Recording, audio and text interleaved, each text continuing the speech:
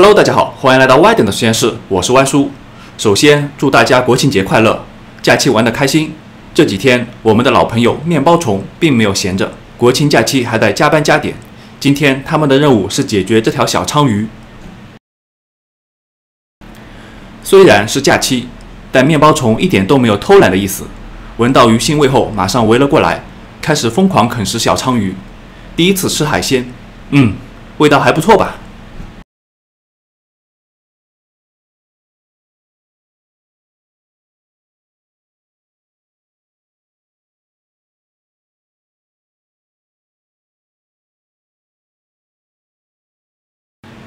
很快，两个小时过去了，我们来看看这条小鲳鱼。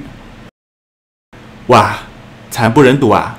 这面包虫也太猛了，鱼的脑子已经被吃掉了，身上留下了一个个小坑。接下来继续。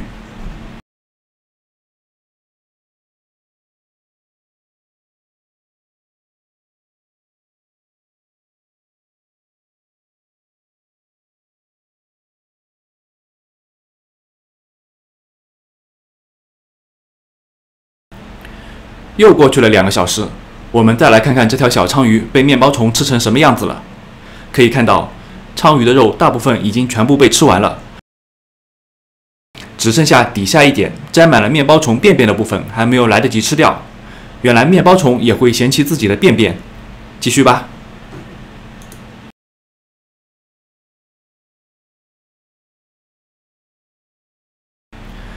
现在是第二天早上，可以看到。